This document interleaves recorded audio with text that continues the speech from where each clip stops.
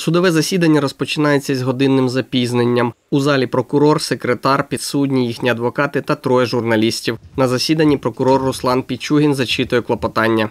На даний час існує ряд ризиків, передбачених статтею 177 КПК України, саме метою продовження підпункту Івановича запобіжного заходу у вигляді домашнього арешту. Адвокат обвинувачених Григорій Филоненко проти продовження домашнього арешту. Я заперечую проти задоволення даних клопотань, вважаю, що вони не обґрунтовані, вилучені підтверджені до своїх до свого клопотання прокурор єдиним обґрунтуванням е, про те, що він говорить у клопотанні про необхідність застосування і про наявність ризиків, підтверджує тільки витягом з єдиного реєстру досудових розслідувань.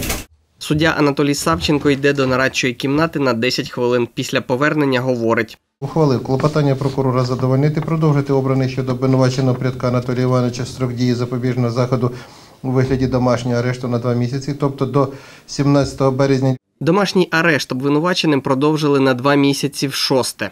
Досліджені всі свідки обвинувачення, досліджені всі документи, е, переглянути всі відеозаписи. На даний час триває проведення призначеної судом експертизи психологічної.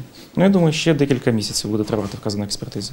Нагадаю, суд по цій справі почався 22 вересня 2017 року. Євгенія Усенка та Анатолія Прядка обвинувачують у нанесенні тілесних ушкоджень полтавцям Олександрові Кобі та Дмитрові Юденку. Це було 5 квітня позаминулого року під час акції проти забудови арки у будинку на Соборності 27 у Полтаві. Ігор Ізотов, Сергій Єрохов, Полтавські телевізійні новини.